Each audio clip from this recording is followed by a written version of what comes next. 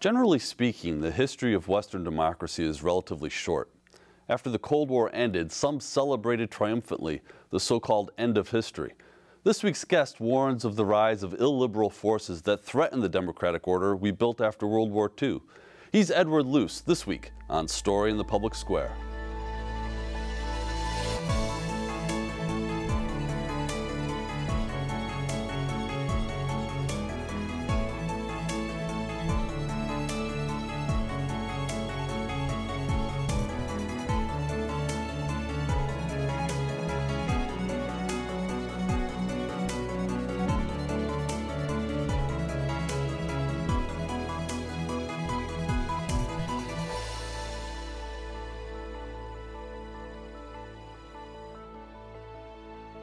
Hello and welcome to Story in the Public Square, where storytelling meets public affairs.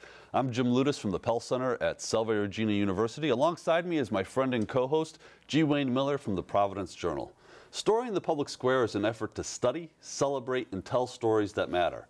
To do that, we sit down every week with the best storytellers around, filmmakers, authors, journalists, and more, to make sense of the big stories that shape public life in the United States today. To help us this week, we're joined by Edward Luce, the Washington columnist and commentator for the Financial Times, as well as the author of an important recent book, The Retreat of Western Liberalism. Ed, thank you for being here. It's great to be here, Jim. Thank so, you, I, I, mentioned this to you. I read your book uh, while I was on vacation in February, uh, and uh, I'm not trying to flatter you, but I really think this is one of the most important books that I've read, anyways, in the last 15 years. Uh, it is a, a, tremendous look, I think, at some big issues that I think quite often we ignore. Uh, so, congratulations. Thank you. Um, tell us, though, let, us let, start actually with just some real basic things so that the audience that might not fully understand, sort of they know where we're coming from. When we talk about Western liberalism or liberal democracy, we're not talking about political Democrats, Republicans, conservative, and liberal. We're talking about classic definition of liberalism. What are we, what are we talking about here? By liberalism, I don't mean Berkeley campus, right? Um, yeah, or you know Portland. I mean the classical tradition of um, that really was exemplified by the founding fathers here in America, of having independent institutions, of having um, a, a, strong um, accountability and rule of law built into the system, which generally in history precedes democracy, the full franchise where everybody could vote, including in America. Mm -hmm. The founding fathers did not give everybody the vote by any means. Um, and so when we talk about liberal democracy, we, they've, they've married in history in, in, the last hundred years or so, but one came before the other. The liberal institutions came first and it's the retreat of um, Western liberalism that, that I think is most alarming about the political trends we see across the Western world today, not just in America, but across the Atlantic, in my own country of birth, Britain, and in the former you know, countries of the Soviet Union, which were the most delighted to embrace the Western system of government when, when the Iron Curtain fell um, in the late 80s. And so why are the why is Western liberalism in retreat now? Well, you know, this is a little bit like the sort of murder on the Orient Express. There are a lot of fingerprints on the dagger, and some people emphasize the retreat of the middle class. And I think that is a very central part of this.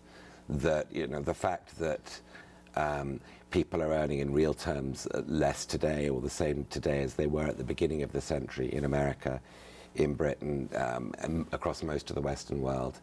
Uh, the fact that your chances of getting ahead, of realizing the American dream, of jumping from one income bracket to a much higher one, are far lower than they've been really since before the Second World War, and lower in America than across most of the Western world. These, these things are very important. The economic, the stagnation of the middle is very important. But there is also, you know, on the right, a reaction against rapid social change mm -hmm. and immigration. And I think the two are sort of, there's a chemical reaction between economic stagnation um, and reaction against social change that has produced this populist brew that we see in very, very many different forms. Trump is clearly the, the example here, but we see it on the left too. My own country, Britain, as the Labour Party's been captured by a pretty hard left, sort of Marxist era leader. Germany, for the first time since the Second World War, We see the, the rise of a neo-Nazi party. It's now got, got representation. Um, Austria, Italy, the, uh, has more than half of the electorate voted for uh, extreme populist parties, and they are now in a weird coalition government in Italy that is a sort of dagger pointed at the European project. There's mm-hmm. different manifestations of this populism in, in every Western, almost every Western democracy. Um, but uh, the causes, I think, are fairly similar across the board. You mentioned the same trends are at work in other parts of the world, other parts of Europe, and you mentioned Russia. What, what is going on in Russia that, that relates to your book? Well, it's, it's interesting. At the beginning of this century, just 18 years ago, hmm. Um, there were 25 more democracies in the world than there, than there are today. Um, Francis Fukuyama, the, the political scientist who called the end of history when the Soviet Union collapsed, calls this the democratic recession. Uh, one of those democracies, imperfect though it was, was Yeltsin's Russia. Right. Um, uh, and we saw it on the sort of arc of history that Obama and others so eloquently describe as moving towards uh, a less imperfect form of democracy over time. And of course, it's gone in the other direction under Putin. Um, it's become a more and more authoritarian state. It's tried to roll back. Uh, Putin himself describes what happened after the collapse of the Soviet Union as the, the biggest geopolitical tragedy um, of the 20th century. Um, and so what we've seen in Russia is what we've seen elsewhere. China is a far less free country today than it was in 2000. Again, we were expecting it to be on that escalator towards where we were. Sure, after Tiananmen Square and, and other developments, of course after Tiananmen Square, um, but its integration with the global economy we took uh, as meaning it would have to gradually loosen its political control. It would have to become more free because you can't get rich unless you have thriving creative industries. And you can't have thriving creative industries if you have censorship and repression and no political parties. That's turning out not to be true, which is a it poses a deep conundrum to the philosophy that we all have deeply bred in, in inside mm. us, that our system is, as Fukuyama said, the end point of history. Is as ideal as you're going to get given human behavior? Yes, it's still, in my view, the least imperfect. you know, it's the worst system apart from all the others. um, do, do, you um, so I want to come back to the idea, though, the sort of the, the, the flatlining of incomes in the middle class. What accounts for that? Is that globalization? Are there other forces at play? Why are, why are middle class incomes stagnating? Uh, so I think globalization is unfairly blamed for most of it. It certainly plays a big role, but I think more important is automation, is the impact of technology um, on middle skilled, middle income jobs, the kind of jobs that were created by what, one of the best pieces of legislation ever, the GI Bill, mm -hmm. that put blue collar people and their kids into university after the Second World War, the kinds of jobs that they got in the 50s and 60s, which could see them realistically tripling their income over their lifetime and seeing their children way better off than they are, are simply not economic. Um, given the kinds of technology and labor save saving labour substitution, um, automation that, that's come available. And I think globalization is not possible without technology. You know, if you think of the sort of, forget the internet, just think of the, the, the evolution of the supertanker and the size of ports. And this is a technological change mm -hmm. that then makes globalization possible. Politics, of course, finds it easier to blame China than to blame robots. But in China, we're seeing a shrinkage of manufacturing jobs too they're also automating. They're also investing in robots. Um, so what we have is not really a manufacturing crisis. It's a manufacturing jobs crisis. We are producing more than we ever produced, right. as is China, but we're just producing it with fewer and fewer people. And the gains from the production go to a, a thinner and thinner group of owners.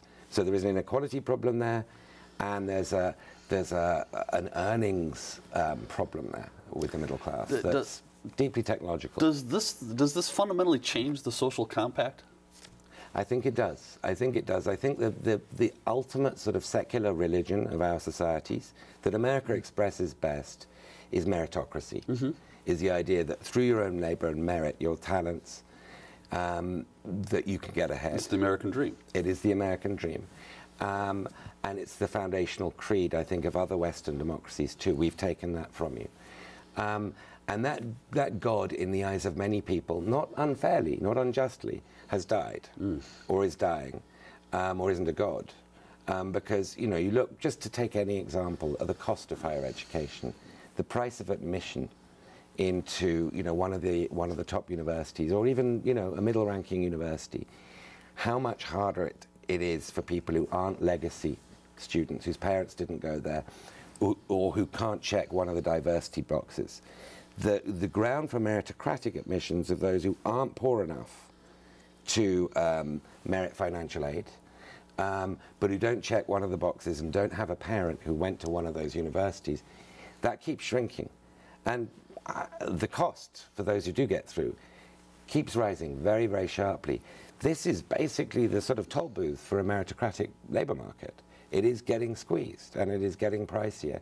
So I think when people hear meritocracy now um, and hear equality of opportunity, they often hear what they think are empty, hypocritical slogans, and with some reason. So one of the big questions, obviously, is these people who are being squeezed out in different ways that you have just described in terms of education or access to quality education, in terms of jobs via automation and robotics. What do they do? Uh, well, I guess they hope for a politics that serves them better than the one that does now. And I think, you know, it, this is one of the problems. The remedies are actually not that hard to think of. It's not that we lack ideas. You know, a, a Marshall Plan for the middle classes, um, you know, and a huge investment in skills from early learning through lifetime on-the-job training that involves the private sector as well as public um, partnership is something I think most economists, you know, whether they're conservative or liberal, would agree on in theory.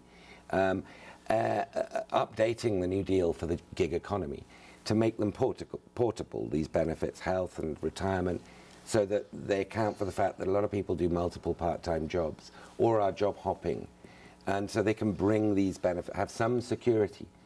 These kinds of things are not lacking. What's lacking is a politics that is anywhere near to implementing these kinds of remedies, let alone even debating them. Um, and I think that's the problem. Politics needs a middle ground. It needs a strong middle ground. And if that's missing in the economy, if the economy is being hollowed out, some going down, some going up, but the middle, that sort of great stabilizing middle is missing, then it has that same knock-on effect in politics. It polarizes politics. I think we certainly saw that in the 2016 election here in this country. Well, Absolutely. And I think previous ones too, it's sort of been building up. yeah. And so, and so, I sort of want to follow up on that. So, Trump, I think, identified the grievance, the the sense of dislocation and lost opportunity that some Americans feel, uh, and so he he has used that. Uh, but I have not seen sort of a, a, a legislative agenda, a, a policy agenda to try to address any of those grievances. I've seen a political strategy to exploit them. Is that is that am I being overly critical? No, I, th- I think you're. Um, I think you're being entirely fair. Um, maybe too fair. It, it, he's been. Uh, you could argue that the way he campaigned, which was for the forgotten American, which was for big infrastructure, which was for investment in their um, ability to um, cope with the labour market and get meaningful jobs, has been a, one of the biggest bait and switches of all time. I mean, that that tax bill. Um, you know, was a, was the Koch brothers' sort of dream of a tax bill.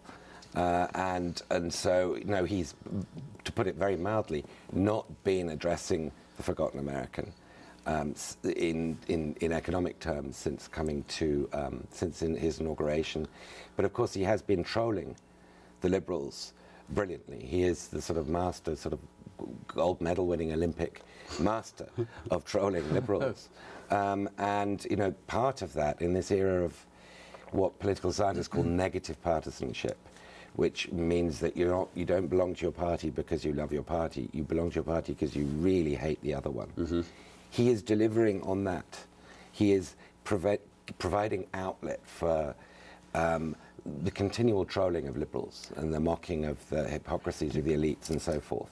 Do, do you think this is a, a, a planned, deliberate strategy by the president and, and many of his allies, we should note, or this is serendipitous or a result of personality, or is there a master plan of some sort at work, do you think?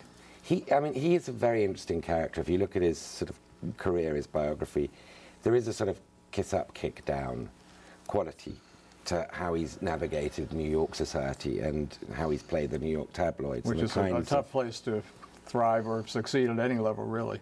Exactly, and so you know to get through that, you know you're gonna you're gonna bring a certain political culture with you, and I think you know we, we, we need to understand just how much New York tabloid mm. culture is in his sort of political way of operating. So I think you know he does. You go and see him at rallies, and you see him try out a lot of different lines, and some of them just fall flat, and then some spark, and then he he lights up and he goes with that one and he digs deeper, which is what happened with the NFL kneeling thing. Yeah. It was one of 30, 40 lines he was trying out. There's this audience sort of market testing um, skill, kind of diabolical skill. I mean, that, Trump requires a talent of, Yeah. of, of Yes. some sort, no question about it, to be able to do that. It, it is a remarkable talent. I mean, I don't think it's a talent that is serving America. Right. But it got him to the White House, and it might get him back to the White House. Let me. Uh, I, I want to. We want to talk a little bit about the impact of, of Trump, but I want to. One last thought on, on, on the book. Uh, you wrote, and I'm quoting here Here then is the crux of the West's crisis. Our societies are split between the will of the people and the rule of the experts, the tyranny of the majority versus the club of self serving insiders, Britain versus Brussels, West Virginia versus Washington. It follows that the election of Trump and Britain's exit from Europe is a reassertion of the popular will. In the words of one Dutch scholar, Western populism is an illiberal democratic response to undemocratic liberalism. That's powerful. There's a lot of ideas in that. But unpack for us this notion of illiberal democracies and undemocratic liberals. Uh, so the person who actually coined the term, or picked up the, the term illiberal democracy and made it his own, was uh, Viktor Orban, who's the, um, the leader of the Prime Minister of Hungary, and who is an unabashed sort of Christian civilizationist. He doesn't believe there should be immigration of non-Christians into Europe. He wants a sort of he want it's the equivalent of America first. It's just Hungary first, and he wants that for Hungary, and he wants that for Europe. Steve Bannon is a great supporter of him. Uh, his great sort of um, bugbear is George Soros. That's that's the sort of person we're talking about, um, and he believes that the popular folk theory of democracy is democracy is just like what most people want. They vote for and they get it. Right. Uh, It doesn't Sort of direct really democracy. Yeah. Exactly. Yeah. Which goes very much against the more sophisticated and I think historical view of what democracy is, which is having systems of protections for people and rights and rules and processes to protect against what de Tocqueville called the tyranny of the majority. Mm-hmm. And you have to, you know, balance off these competing interests because there is no such thing as one view of the people, you know, that is clear and uh, almost never, except in extreme circumstances. What we're getting today is a growing divorce between those who stress the sort of liberal side, all the institutions, freedom of the press, the rule of law, uh, independence of the courts, um, the separation of powers, um, the, the liberal sort of institutional side versus the majoritarian democracy side. And when Trump talks about a deep state, what he's referring to is liberalism, all Right. the liberal institutions. It's the deep state that is stopping me. I am the trib- I am the will of the people. Uh, and the more he can use that, um, the more he plays to a, you know a very common popular idea of what our system is. Um, so, in different forms, populists across the West are claiming we are the people against against the technocratic elites, against the experts, and the perfect slogan in all these elections we're talking about, um, in Europe and here, that I think I've heard to summarise that is take back control. The British Brexit referendum campaign, take back control, very clever, because first of all it plays the idea these Brussels technocrats, these foreigners are just uh, micro-regulating us, and we want to micro-regulate ourselves, um, or not, as the case may be. But second, it spoke very, very viscerally to what individuals feel about what's happened to their own lives, that they've sort of lost control. Like, like we're doing five part-time jobs, and we're not getting any pension, and there doesn't seem to be any time in the day. And our employer wouldn't dream of training us like my dad or my mum was trained by their employer. And I don't seem to have control over my destiny anymore. So it was a genius slogan because it caught, it caught exactly what people feel inside. And I think Trump, in, in a different way, um, channeled a pretty similar message. And the mistake, if you're running against that, is to call the people who support that view deplorables, I'm guessing. Yeah, I, I do believe in separating Trump from his supporters. Yeah. And I think it's just bad, it's malpra- political malpractice to call all these people who might vote for you Right. deplorable and saying we don't even want your vote. Well, that, that's not a good way That's of, bad of winning an, politics. winning an election. But, you know, one of the ironies, of course, is that Donald Trump is one of the elites. He was born to privilege. He has led a very elite life at the top of New York finance and, and journalism and whatever. I mean, how do, how do people who support him and his ideas justify that? It's funny, there was a story that when Trump was showing potential investors around one of his Atlantic City casino sites, they asked him, so what is, uh, they, they, these were Asian investors, what is white trash? And he goes, they're just like me, that- except they don't have any money. um, and I think Trump, because of this um, funny resentment against the sort of more white shoe sort of elites in New York, who never really welcomed him, who look down on him, is able to channel um, a lot of people's feelings who aren't who weren't like him, born into great wealth and um, of storied sort of um, um, value nowadays. Uh, he, he's able somehow to channel that that sen- sentiment. The, the currency that he deals in is resentment. What, he's able to turn that that into gold, electoral gold. He finds resentment. He can smell it. And then he can turn it into, to coin it And, into and resentment, of course, is a very powerful human emotion. You know, whether in politics or relationships or wherever. deeply. It, it, it, it's won an election. I mean, that's brilliant, actually, in, in its way. Yes. So, so in your book, you wrote Trump has made it clear that the post-war U.S.-led global order is history. In one of your recent columns, you said that uh, Mr. Trump knows exactly what he's doing. The fact that he poses a threat to the global order is a feature, not a bug of his actions. What are you talking about? So the America First idea um, is one where America is not in multilateral clubs. It's not in part all these sort of big amorphous G, something called G, G7, G20, all these sort of big groups which produce meaningless communiques, because America gets ripped off. Um, we're just outsmarted, um, you know, by the clever Chinese, the clever Japanese, the clever Germans. Um, what America needs to do is get into a bilateral world where each trade negotiation, America is going to be by far the bigger partner, and therefore it's going to be able to wring far bigger concessions from its trading partner or whatever else is being negotiated. Um, and it's kind of the law of the jungle. We're bigger, and therefore we'll get more. Um, it does sort of go against all the theories of you know what what produces wealth and how global supply, supply chains work and you know how efficiencies are um, uh, how the great efficiencies of the American order Pax Americana order since the Second World War has lifted boats across the world including America's boat um, but it's a not, it's not an incoherent vision it's it's what we used to call mercantilist vision it's that trade's a zero sum game. Economics is a zero sum game. If you get richer, I get poorer. It's not actually how economics works, I don't think, but it's how he thinks of economics. But mercantilism led to a whole lot of wars, big wars between big powers over the course of the 18th, 19th centuries. Yeah, so when, um, when Trump announced these steel and um, I've been trained to say aluminum, but I know to say aluminium tariffs on uh, the Japanese and the Europeans and the Canadians. Yeah. You know, the same week, by the way, that he basically withdraws the one weapon he's got over China, ZTE. Yeah. Um, he he, he uh, escalates the trade fight with Canada, an ally. Um, that this this um, notion um, that and, and this was done, sorry, uh, under national security, on national security grounds.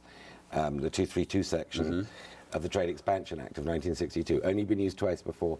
He's now saying we can basically restrict economic uh, change, unilaterally change any trade deal on national security grounds, even if it's some steel or some softwood lumber from our closest ally with whom we've never had a disagreement, a serious disagreement. So Uh, Who we share command of NORAD. exactly. And they're really nice people. Yeah. And they're very nice, they're very polite. And uh, my, my favorite headline ever um, is a New York Times headline. It's considered to be the most boring headline in history. Worthwhile Canadian Trade Initiative um, was the headline. It's like, oh yeah, I'm going to read that one. Oh, those copy editors have their little tongue in cheek sometimes. Huh? But nowadays I'd actually read it. I think, oh, that could be quite interesting. We've got about 30 seconds left. So in, in that time, how does this end? Um, it continues to get worse before it gets better. The positive sort of thing is that the world is getting less poor very rapidly. Um, you know, 200,000 people a day get electricity and clean running water, clean drinking water who never had it before in human history. It's extraordinary lifting of people out of poverty because of the global order that we created, that America created. Um, and no one else can fill America's shoes. So it's going to get worse before it gets better. Trump might be re-elected. We could be taking eight years holiday from American leadership here. But ultimately, there is no other choice. Ed, we got to leave it there. It's a, the book is tremendous. He's Edward Luce. The book is The Retreat of Western Liberalism. That's all the time we have this week. But if you want to know more about Story in the Public Square, you can find us on Facebook and Twitter or visit pellcenter.org where you can always catch up on previous episodes. He's G. Wayne Miller. I'm Jim Ludes, asking you to join us again next time for more Story in the Public Square.